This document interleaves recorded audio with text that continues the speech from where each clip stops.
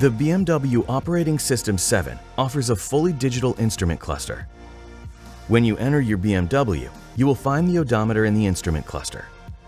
After starting the engine, using the Start-Stop button, the instrument cluster will change to your current location.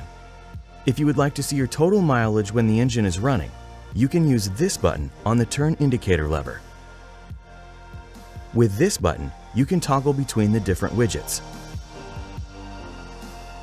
The trip odometer shows you your total driven mileage.